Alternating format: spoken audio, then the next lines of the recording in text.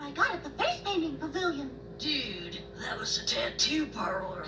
Oh, He suffered enough. Yeah. But on the other hand,